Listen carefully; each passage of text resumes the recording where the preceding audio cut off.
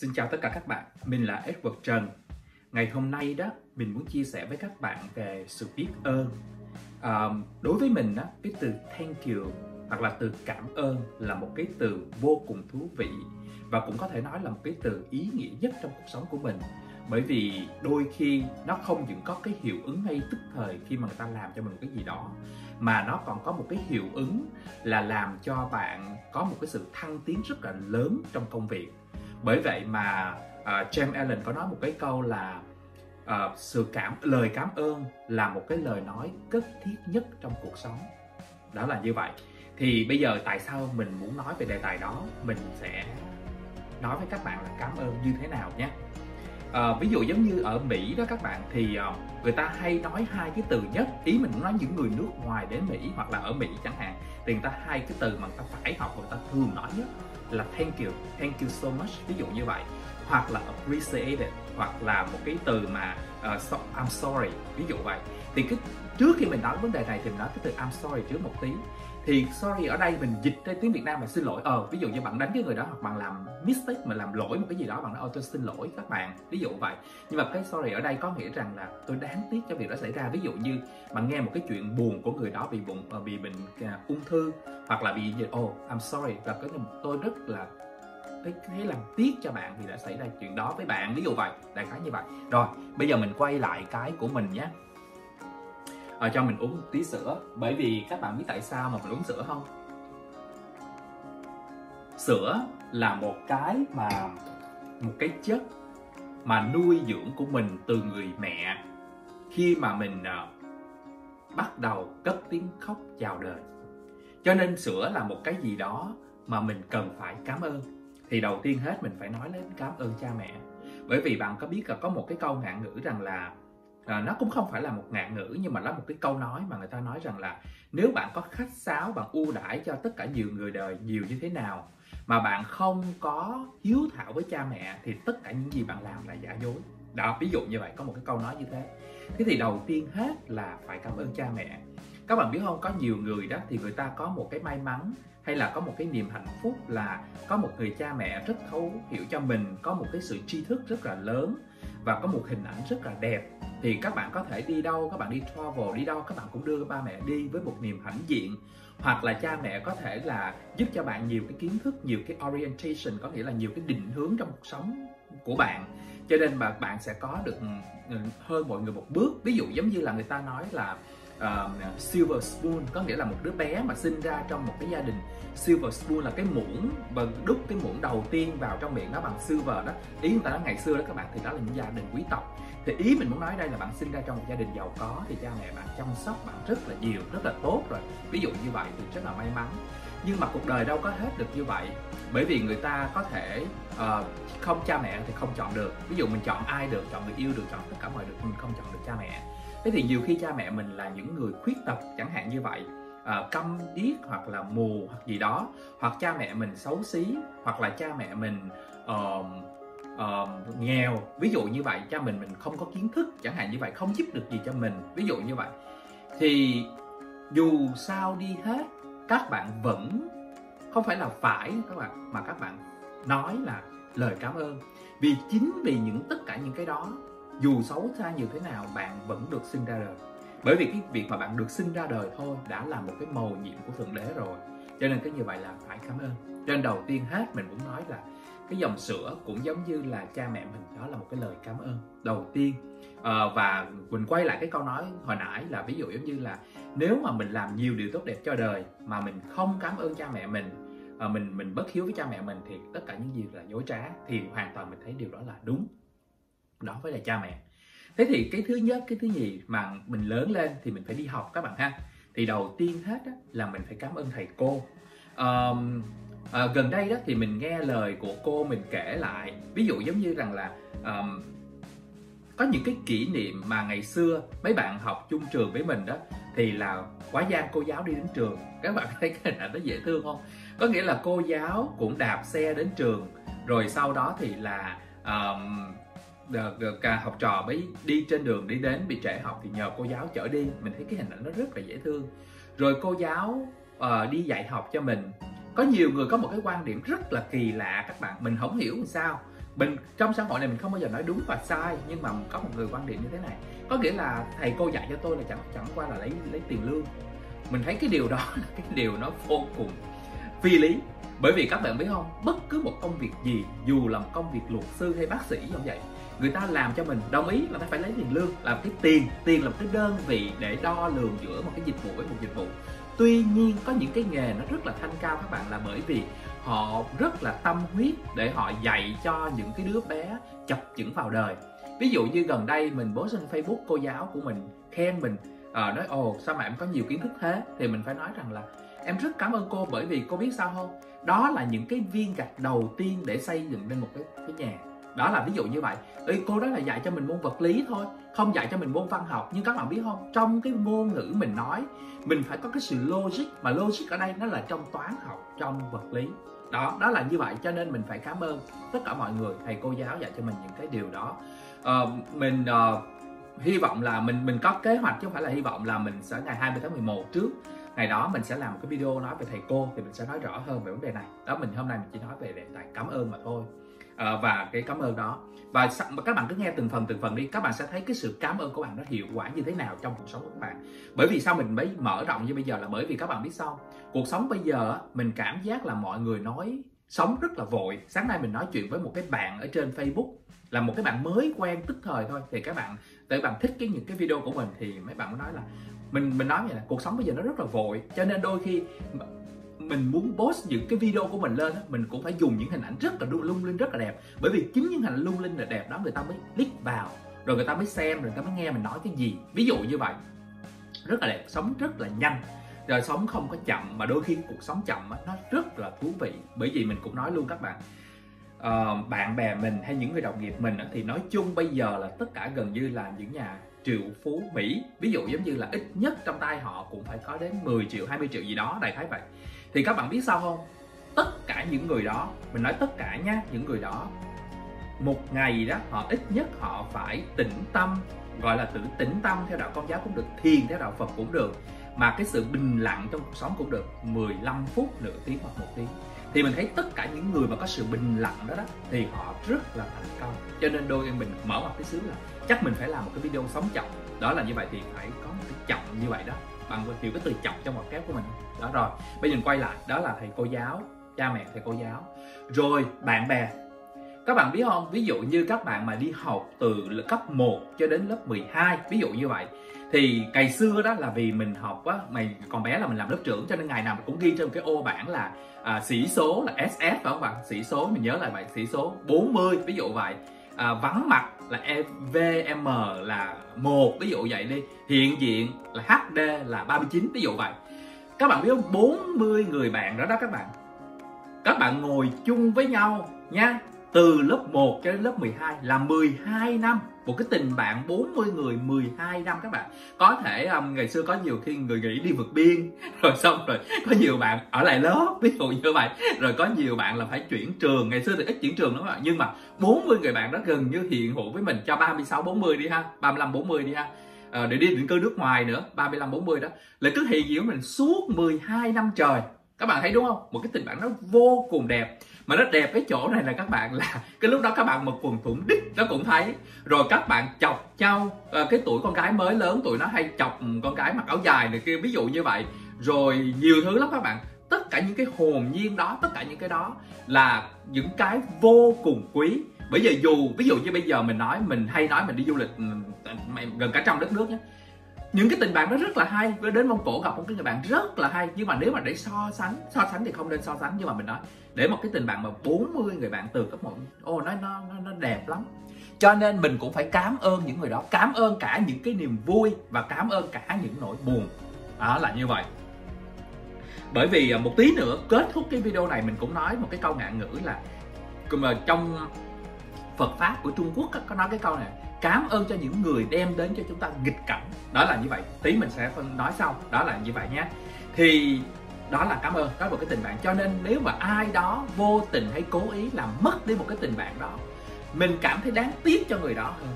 Đó, như vậy. Rồi mình cảm ơn là như vậy. Rồi, bây giờ bắt đầu mình bắt các bạn đi làm. Ai cũng lớn lên phải đi kiếm tiền, đúng không? Cái từ kiếm tiền thì đã quen quá rồi trong những video khác.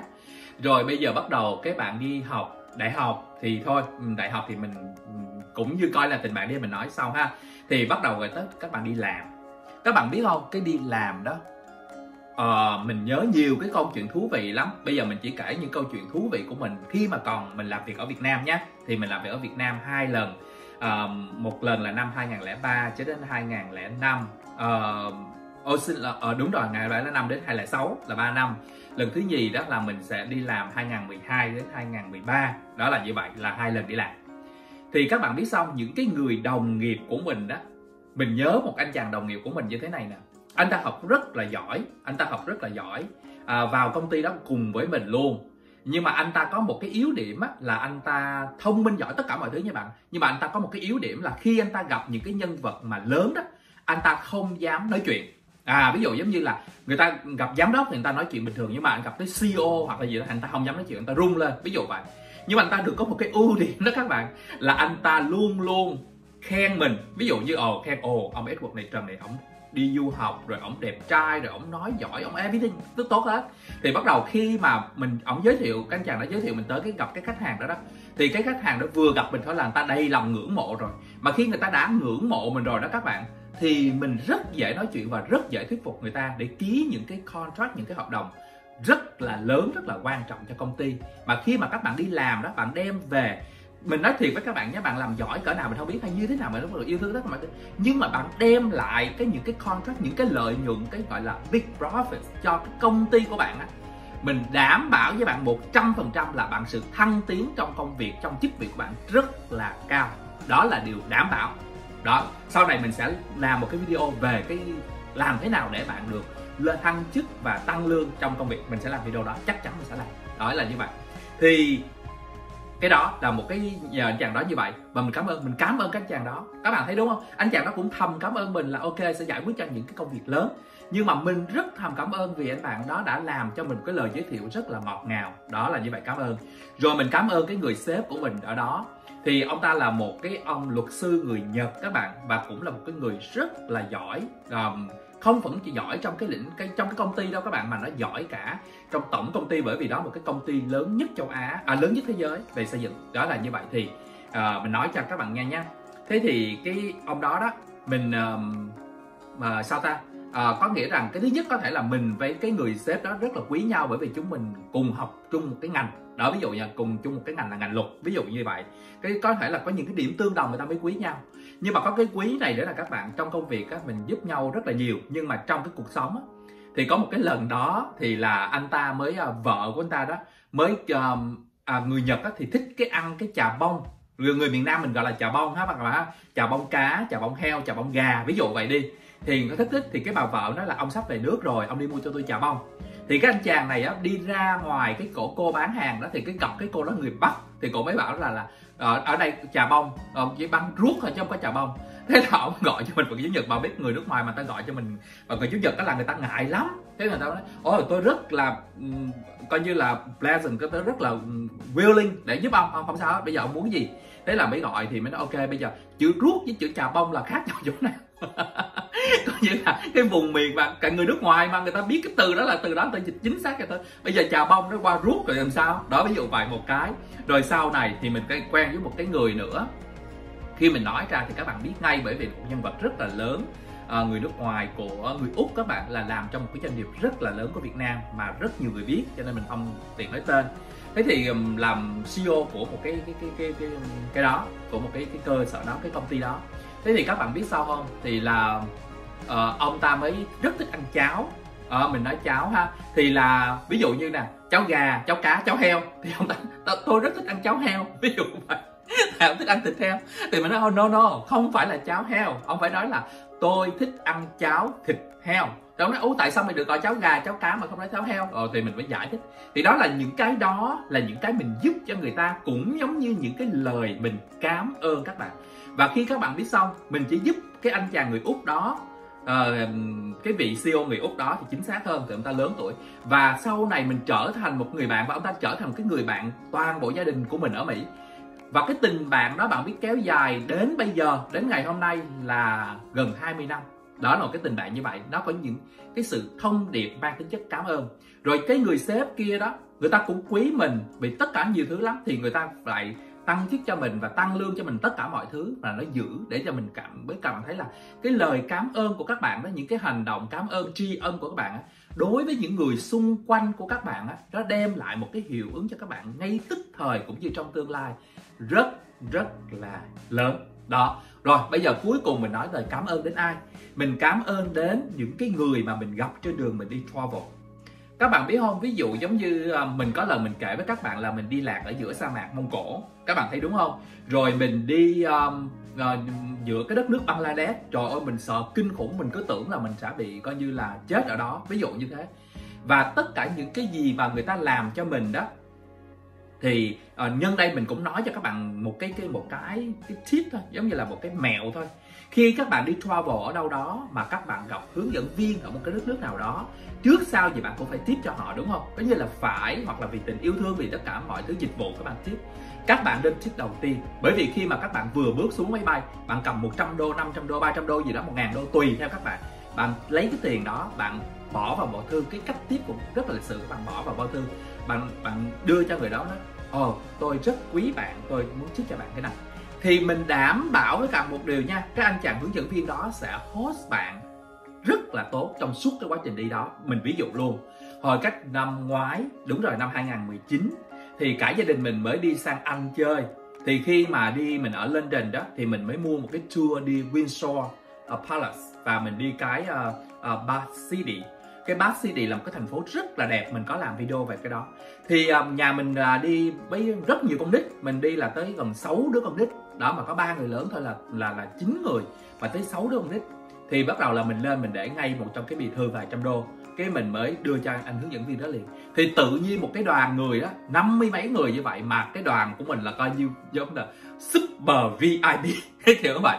Tại vì người ta cũng thể hiện lại cái lòng cảm ơn chứ không phải là người ta định mình hay là gì cả các bạn. Người ta thể hiện. Nhưng mà khi mà mình cho người ta một cách lịch sự, mình mình tặng người ta một cách lịch sự, rồi mình cũng thể hiện cái lòng thì lịch sự cũng là một cái lòng tri ân thì tự nhiên cái trip đó, mình được hướng dẫn một cách tốt nhất.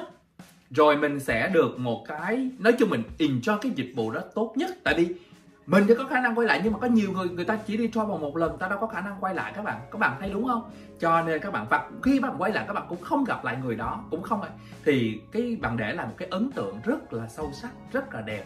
Bởi vì cái mà tip á bởi vì mình lấy ví dụ như ở Mỹ này á thì các bạn biết ở Mỹ là người ta tip á, là bắt buộc các nhà hàng tất cả mọi người nha các bạn là phải tip at least minimum là 15% trên cái bill. Ví dụ như các bạn ăn tối 100 đô là các bạn phải tip 15 đô. Các bạn biết có nhiều lần cái tiền tip của mình nó phải đưa lên tới gần 500 đô.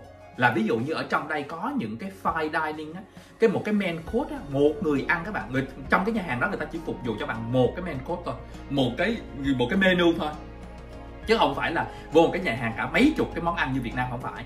Vô cái nhà hàng đó ở Mỹ á thật nhiều nước Pháp hay là ngay cả Thái Lan trong khách sạn ờ, những khách sạn sang trọng á, ví dụ như lại thì cũng có đúng như vậy. Thì các bạn biết không là một cái menu đó một cái người ăn đó một cái um, mình nói rộng hơn tí xíu nhé có nghĩa là gồm có cái um, món khai vị nè món chính dessert là một người là một ngàn đô thì các bạn phải tip ở trong đó đó, các bạn phải tip là 35 phần trăm đến 40 phần trăm, cho 35 là bạn phải tip ba trăm rưỡi cho một người. Mà hôm đó mình ăn ba người là tiền tip là một ngàn đô. Ví dụ vậy, và chưa kể tiền trụ đó là như vậy. Cho nên cái tiền tip cái tip ở đây thì đó, mình không nói đây là cái bắt buộc, nhưng mà mình thấy mình đi đến những cái vùng nào đó, thôi mình nói Việt Nam cho dễ các bạn ha. Ở đến Việt Nam hoặc miền Bắc thì ít tip hơn miền Nam các bạn, nhưng mà các bạn đi thì các bạn cũng nên thiết bởi vì người ta làm việc đó các bạn, người ta cũng có một cái sự nỗ lực trong đó. Rồi cũng là một cái bonus, tại cuộc đời thì ai cũng muốn bonus giống như mình trúng số hoặc là có cái bonus gì đó, một cái phần quà, một cái gift gì đó, thì người ta sẽ vui hơn. Và để kết thúc cái video này đó các bạn, thì mình sẽ chia sẻ với các bạn một cái câu ngạn ngữ. Đó cái câu ngạn ngữ mà mà của cái gọi là Phật pháp Trung Hoa cũng giống như là mình hồi nói mình lúc giúp giữa video đó thì cái câu đó như thế này là hãy cảm ơn cho những người đem tới cho mình nghịch cảnh. Thì um, trong cái cả cuộc đời của mình tất cả những mình cũng xin nói lại là tất cả những cái video mà mình làm cho các bạn nó hoàn toàn dù nghèo dù giàu dù sang dù hèn tất cả sướng khổ tất cả đều xảy ra thật với cuộc đời của mình hết. Cho nên là hoàn toàn những cái thông tin chia sẻ với các bạn là hoàn toàn thật với mình. Đó là như vậy. Uh, chứ không có cần phải mình không cần phải phải giống như là uh, lấy một cái gì đó của người khác để làm không mình không có. Thì bây giờ như thế này cuối cùng thì mình kể cho các bạn nghe một cái câu chuyện là tại sao mà cảm ơn cả những cái người đem cho mình nghịch cảnh. Thì ngoài cái chuyện của mình mình một lần nào đó mình sẽ chia sẻ riêng. Nhưng mà lần này mình kể cho các bạn nghe một cái câu chuyện ngụ ngôn. Thì uh, có hai cái một cái học trò đó học được có một cái ông thầy về triết lý cuộc sống. Thì à, ông ta mới coi như là học trò học cũng tương đối giỏi rồi, thì nói, ok, thì hôm nay chúng ta ra đời thực tập. Thì hai ông thầy trò mới đi tới một cái ngôi làng nọ, là một cái ngôi làng coi như là nghèo nhất trong vùng. Thì tới đó xong thì ông ta mới kiếm một cái nhà mà nghèo nhất trong cái làng đó, thì đi vô. Thì trong cái làng đó thì cả gia đình đó bạn biết vừa bước vô thì người ta thấy mọi người ngồi có như người thì ốm yếu, tâm teo người thì mắt lơ láo người thì nghèo. Nói chung là cái rất là nghèo các bạn rất là nghèo. Thì um, không còn cái gì để víu ý là như thế. Xong cái là bắt đầu cái hai người hai thầy trò mới bước ra ngoài. Thì thấy một con trâu cũng con bò cũng là ốm yếu như vậy luôn. Thì ông thầy ông mới đi mấy bước thì ông quay lại ông lấy cái con dao ông đâm ngay cổ họng của con bò để cho con bò lăn ra chết. Thì uh, người học trò vô cùng hoảng sợ luôn thế hỏi tại sao nữa? Mà ông thầy cũng không có nói. Thì đến một tháng sau uh, ông thầy mới dẫn người học trò lại đúng cái làng đó đúng ngôi nhà đó. Thì ngay từ đầu làng thôi thì đã thấy mọi người để nói về cái sự thịnh vượng của cái gia đình đó rồi. Thì vô nhà thấy gia đình hoàn toàn sung túc xung quanh là có vườn rau tất cả mọi thứ. Mọi rồi vườn gia súc trâu bò gà ngựa tất cả mọi thứ. Thì ra mới vô hỏi ông chủ thì ông chủ mới nói là như thế này các ông chủ hộ của gia đình đó mới nói như thế này thì các bạn biết không? Thì cái gia đình đó đó trước khi mà hai ông thầy trò trò này đến á, thì chỉ có mong mỏi là mỗi ngày ra vắt một lít sữa của con con bò đó đem đi bán một ít rồi uống một ít là cứ sống cho vật vờ trong con bò đó mà thôi. Đó là như vậy. Trong cái sản phẩm của con bò nó tạo ra mà thôi. Nhưng mà sau khi con bò chết rồi thì người ta không có cái cái gì hết. Đầu tiên người ta xẻ thịt con bò ra ta bán và dùng cái đó người ta làm ra hạt giống để người ta trồng. Và khi người ta trồng rau thì người ta ăn dư giả rồi người ta mới đem rau đi bán và sau đó người ta mới bán dư giả, người ta mới mua bò, mua mua mua vịt, mua gà về nuôi, rồi sau đó mua trâu mua bò do tình vượng cho nên các bạn thấy không? Khi mặc dù là mất cái con bò, gia đình đã mất con bò là cái nguồn hy vọng cuối cùng, một tia lo lói cuối cùng của họ. Nhưng chính vì vậy, họ đã trở thành một cái gia đình rất là giàu có trong làng. Cho nên là người ta nói rất là đúng, đôi khi, không phải là đôi khi, mà chúng ta phải cảm ơn cả những cái người mà đem đến cho chúng ta nghịch cảnh mình rất cảm ơn các bạn đã xem video này của mình. Nếu như các bạn cảm thấy thích, thì các bạn có thể nhấn nút subscribe và có thể chia sẻ cho mọi người. Vì mình hy vọng rằng là những cái điều mà nó thú vị rất thực trong cuộc sống của một con người, thì đó luôn luôn là một cái điều thú vị từ ngàn năm trước đến ngàn năm sau. Nên mình rất mong các bạn chia sẻ và subscribe. Xin cảm ơn các bạn nhé, và hẹn gặp lại các bạn trong một video mới. Xin cảm ơn.